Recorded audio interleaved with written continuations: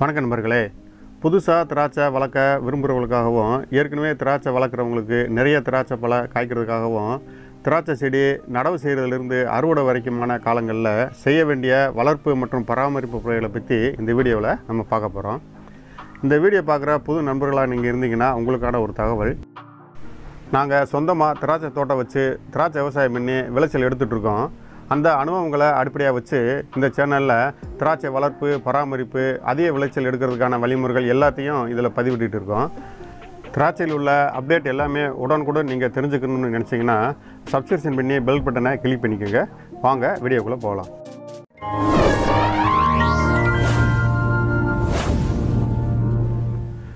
திராட்சை செடியோட உற்பத்தி நடவு வளர்ப்பு கவாத்து அறுவடைன்னு ஒவ்வொரு பராமரிப்பு முறைகளும் பெரிய டாபிக்ன்றதுனால இந்த திராட்சை வளர்ப்போட ஒவ்வொரு பகுதிகளில் முக்கியமான விஷயங்களை மட்டும் இதில் சொல்லியிருக்கேன். இந்த முறைகளை பற்றி தெளிவான விஷயங்களை தனித்தனி வீடியோவாக பிளேலிஸ்ட்டில் இருக்குது லிங்கை வந்து டிஸ்கிரிப்ஷனில் கொடுத்துருக்கேன். தனித்தனியாக நீங்கள் விளக்கமாக தெரிஞ்சுக்கணும்னு நினைக்கிறவங்க அந்த டிஸ்கிரிப்ஷனில் லிங்கை பார்த்துக்கோங்க. முதல்ல திராட்சை செடிகள் வந்து எப்படி உற்பத்தி பண்ணலாம்னு பார்க்கலாம்.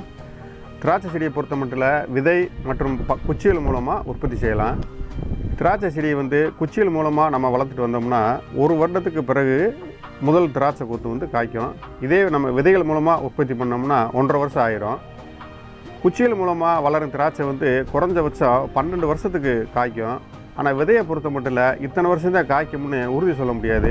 முதல் ரெண்டு வருஷம் காய்ச்சிட்டு அதுக்கு பிறகு வெறும் செடிகள் மட்டும் வருவதற்கு நிறைய வாய்ப்பு இருக்குது அதனால் திராட்சை செடி வளர்க்கணும்னு நீங்கள் நினச்சிங்கன்னா குச்சிகளை தேர்வு செய்கிறது தான் பெஸ்ட்டு அடுத்து இப்படி தேர்வு செய்கிற குச்சிகள் வந்து எந்த ரகம் வந்து நம்மளுக்கு ரொம்ப சூட்டபுளாக இருக்கும்? நம்மளுக்கு சிறந்த பலனை கொடுக்கும் அப்படின்னு சொல்லி பார்த்தோம்னா இந்தியாவில் பொறுத்தளவில் அதிகபட்சமாக இருபத்தி ஆறு ரக திராட்சை வந்து பயிரிடப்படுது.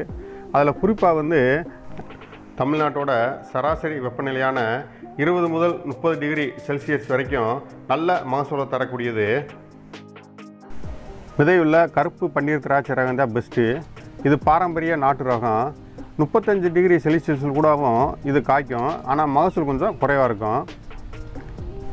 இதோட வளர்ப்பு மற்றும் பராமரிப்பு முறைகள் வந்து ரொம்ப எளிதாக இருக்கும். இதற்குன்னு குறிப்பிட்ட சீசன் எதுவும் இல்லைன்றதுனால வருஷம் முழுக்க காய்க்கும். பழம் வந்து இனிப்பு சுவை வந்து கொஞ்சம் கூடுதலாக இருக்கும். மருத்துவ குணம் நிறைஞ்ச பழம் இந்த கருப்பு பன்னீர் திராட்சை. பழத்தோட தோல் விதை எல்லாத்தையுமே வந்து நம்ம வந்து சாப்பிட்லாம். அதனால் திராட்சை செடியை வளர்க்க விரும்பினா நாட்டு ரகமான கருப்பு பன்னீர் திராட்சையை தேர்வு செய்யுங்க. அடுத்து குச்சிகளை எப்படி பதியம் போடுறதுன்னு பார்க்கலாம். நம்ம ரோஜா செடிகளுக்கு பதியம் போடுறது மாதிரி தான் இந்த திராட்சை குச்சிலையும் பதியம் போட்டு வளர்க்கணும். தொடர்ந்து திராட்சை வந்து கொத்து கொத்தாக காய்க்கிற நோய் தாக்காத ஏழு வயசுக்கு மேலே உள்ள வயசான திராட்சை செடியை வந்து சேர்வு செஞ்சு அதிலிருந்து நம்ம தாய் குச்சிகளை வந்து சேகரிக்கணும். அந்த குச்சிகளை பையில் பதியம் போட்டு நேரடியாக சூரிய நிழல் பாங்கான இடத்துல நாற்பத்தஞ்சு நாள் வளர்க்கணும். குறைஞ்சது அஞ்சு முதல் ஏழு இலைகளாவது வளர்ந்துள்ள நிலையில் அதை மீண்டும் எடுத்து நாம் எங்கே திராட்சை செடி நடவு செய்ய நினைக்கிறோமோ அந்த இடத்துல வந்து ரீப்ளான் பண்ணலாம். நம்ம திராட்சை பன்னெண்டு வருஷம் வரைக்கும் தொடர்ந்து காய்க்கணுன்றதுனால நடவுக்கு முன்னால் ஒரு இருபது நாட்கள் நம்ம ரீப்ளான் பண்ண போகிற இடத்த வந்து தயார்படுத்தி அதன் பிறகு நடவு செய்யணும். இந்த மாதிரி நாம் நடவு செஞ்சு வளர்க்குற திராட்சை செடி வந்து முதல் முதலாக திராட்சை பழம் காய்க்கிறதுக்கு ஒரு வருஷம் ஆயிரும்.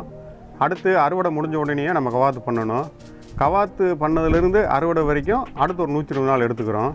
அதனால் ஒவ்வொரு முறை அறுவடை முடிஞ்ச உடனேயும் நம்ம கவாத்து பண்ணணும்.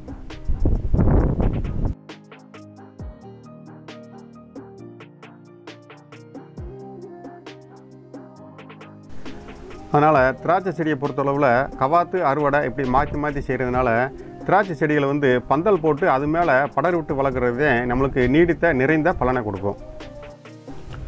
அதனால் திராட்சை செடியை நடவு செஞ்ச பிறகு பந்தல் அமைச்சு செடி பக்கத்தில் பந்தல் வரைக்கும் ஒரு கம்பம் உண்ணி அதன் மேலே ஒத்த செடியாகவே திராட்சை செடி வந்து வளர்க்கணும். இப்படி நம்ம திராட்சை செடியை வளர்க்கும்போது பக்க கிளைகள் வந்து வரும் நுனி கிளைகளெல்லாம் வரும். அதெல்லாத்தையும் நம்ம கிள்ளி எடுத்து விட்டுட்டு ஒத்த செடியாகவேவும் பந்தல் வரைக்கும் வளர்க்கணும். இதுக்கு குறைஞ்சபட்சம் ஒரு மூணு மாதம் ஆயிரும். அதாவது நம்ம பதிய வைக்கிற செடி வந்து பந்தல் வரைக்கும் ஒத்த செடியாக வளர்ந்து வர்றதுக்கு மூணு மாதம் ஆயிரும். அடுத்து பந்தல் வர வளர்ந்த பிறகு செய்ய வேண்டிய பராமரிப்பு வேலைகள் பற்றி என்னென்னு பார்ப்போம்.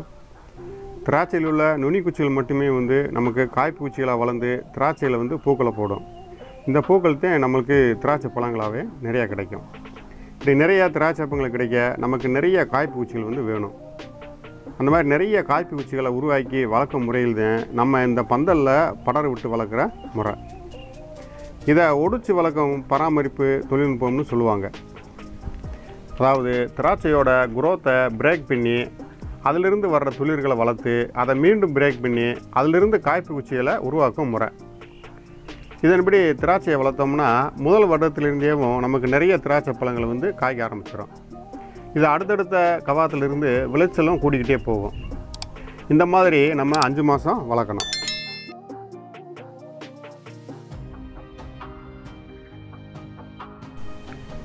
இப்படி நம்ம திராட்சை செடியை வந்து நடவு செஞ்சதுலேருந்து பந்தல் வரைக்கும் ஒரு மூணு மாதமும் பந்தலில் ஒரு அஞ்சு மாதமும் வளர்க்குற சமயங்களில் ஒவ்வொரு பத்து நாளைக்கு ஒரு முறையும் கடலப்புண்ணாக்கு மண்புழு உரம் இந்த மாதிரி இயற்கை உரங்களை வந்து வேறு பகுதியில் வச்சு தண்ணீர் ஊற்றி வளர்த்துட்டு வரணும். இந்த உரங்களை எப்படி வைக்கிறது அப்படின்றத பற்றியும் இயற்கை மற்றும் செயற்கை உரங்களோட அளவு அதை எப்படி பயன்படுத்துறது அப்படின்றத பற்றியும் நம்ம ஏற்கனவே தனித்தனியாக ஒரு வீடியோ போட்டிருக்கோம்.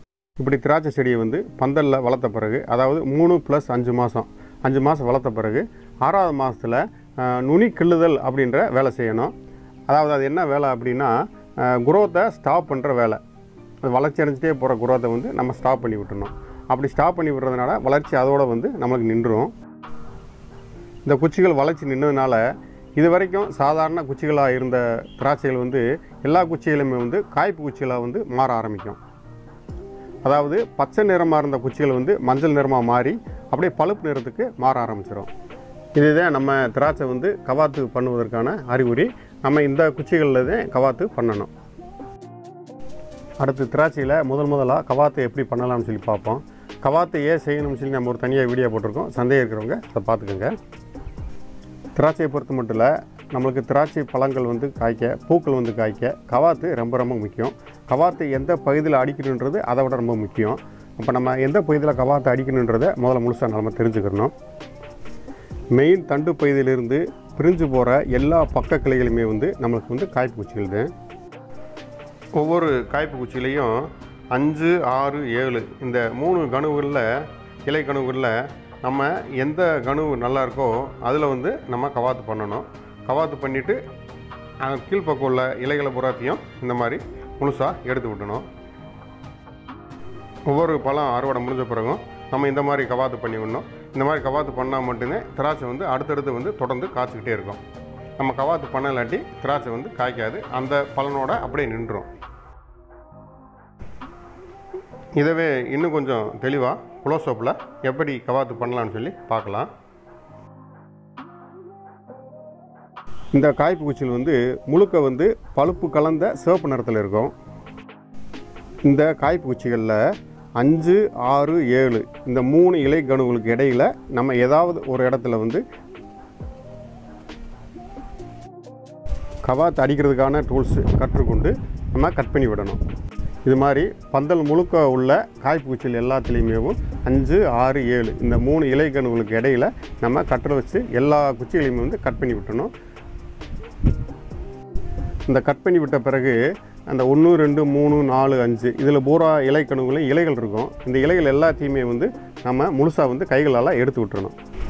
இப்போ நம்ம கவாத்து பண்ண பிறகு திராட்சை செடியை பார்த்தோம்னா இலைகளே இல்லாமல் வெறும் குச்சிகள் மட்டும் பந்தலில் இருக்கும். இந்த மாதிரி கவாத்து பண்ண பிறகு எப்படி உரம் வைக்கிறது அப்படின்ற டீட்டெயிலெலாம் ஏற்கனவே நம்ம ஒரு வீடியோ போட்டிருக்கோம். அதில் நீங்கள் பார்த்துக்கோங்க. இந்த கவாத்து பண்ணது பிறகு எட்டுலேருந்து பத்து நாளில் புது துளிர்கள் வந்து வெளியேற ஆரம்பிக்கும். அந்த புது துளிர்களில் தான் திராட்சை பூக்கள் வந்து போடும்.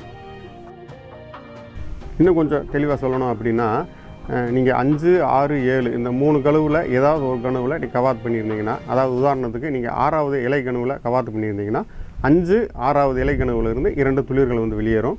இரண்டு துளிர்களில் மேக்ஸிமம் வந்து ஒவ்வொரு துளிர்லையும் ரெண்டு ரெண்டு திராட்சை பூக்கள் இருக்கும். இல்லாட்டி ஒரு திராட்சை பூ கூட இருக்கும். இப்படி புது துளிர்களிலிருந்து வெளிவந்த திராட்சை பூக்களை நம்ம எப்படி திராட்சை பழங்களாக மாற்றலாம்னு ஸ்டெப் பை ஸ்டெப்பாக பார்க்கலாம். கவாத் செஞ்சதுலேருந்து இருபதுலேருந்து இருபத்தஞ்சி நாளுக்குள்ளே செய்ய வேண்டிய பராமரிப்பு வேலைகள். அது என்னென்ன அப்படின்னா இந்த காய்ப்பு குச்சிகளிலிருந்து வர்ற திராட்சை பூக்களோடு உள்ள துளிர்களை தவிர காய்ப்பூச்சிகளுக்கு கீழ்ப்பக்கம் உள்ள மெயின் பிராஞ்சு தண்டு பகுதி இதில் எல்லாத்துலேயுமே வந்து சிறு சிறு துளிர்கள் வந்து வெளியேற ஆரம்பிக்கும். இந்த சிறு சிறு துளிர்களில் வந்து பூக்கள் எதுவுமே இருக்காது.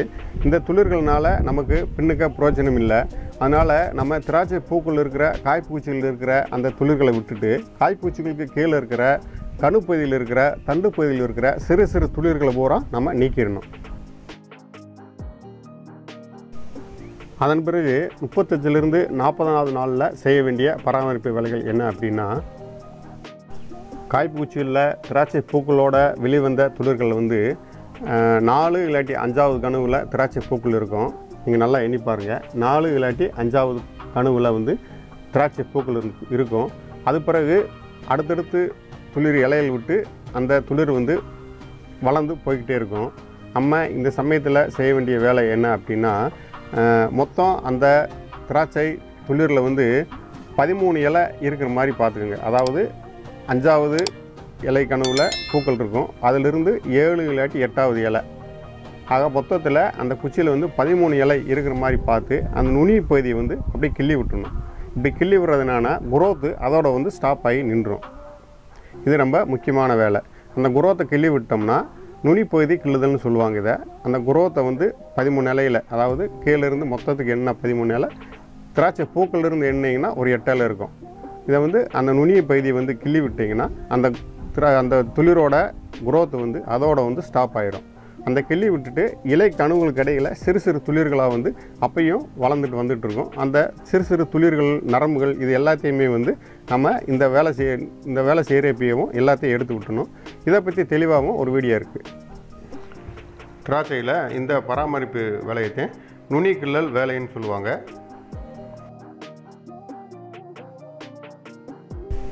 இந்த நுனி கிள்ளல் வேலை செஞ்ச பிறகு அடுத்தடுத்த நாட்களில் திராட்சை பூக்கள் வந்து அப்படியே பிஞ்சுகளாக மாறி அப்படியே காய்களாக வளர்ச்சி அடைய ஆரம்பிச்சிடும்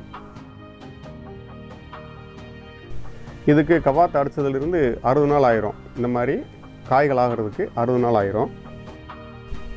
அது பிறகு இந்த பிஞ்சுகளை பூரா பந்தல் கீழ் பக்கம் ஒரே மாதிரி இருக்கிற மாதிரி கட்டி விடணும். இதிலிருந்து இருபது நாட்கள் கழிச்சு அதாவது கவாத்து செஞ்சதுலேருந்து எண்பது நாளில் வந்து காய் நல்லா சுண்டைக்காய் அளவுக்கு நல்லா வந்து பெரிய சைஸாகவும் நல்லா பாலிஷாகவும் வர ஆரம்பிச்சிடும் இந்த சமயத்துலேயும் தண்டு பகுதியை பக்க கிளைகளில் இதில் எல்லாத்தையுமே சிறு சிறு துளிர்கள் வந்து வளர ஆரம்பிக்கும். நம்ம இந்த சிறு சிறு துளிர்களையும் நம்ம அப்பப்போ எடுத்து விட்டுணும் இதுக்கு அடுத்து பத்து இருபது நாள்களில் அந்த திராட்சை காய்கள் எல்லாம் சிவப்பு கலருக்கு மாறி பழம் வந்து பழுக்க ஆரம்பிக்கும். சரியாக ஒரு நூற்றி பத்து நாளில் முதல்ல வந்து பச்சை நிறம் வந்து ரோஸ் கலராக மாறும். அந்த ரோஸ் கலர் வந்து அப்படியே வந்து கருப்பு நிறத்துக்கு மாறிடும் நூற்றி பத்து நாளில் எல்லா பச்சை காய்களுமே வந்து ரோஸ் நிறத்துக்கு திரும்பிடும் அதுக்கடுத்து பத்து நாளில் முழுசாக வந்து கருப்பு கலராக மாற ஆரம்பிச்சிடும் கருப்பு கலர் ஆரம்பித்த பிறகு தான் பழம் வந்து இனி இனிப்பு சுவைக்கு வரும். திராட்சை பந்தல் இருக்கிற எல்லா பழங்களும் ஒரே சமயத்தில் கருப்பு நிறத்துக்கு வராது.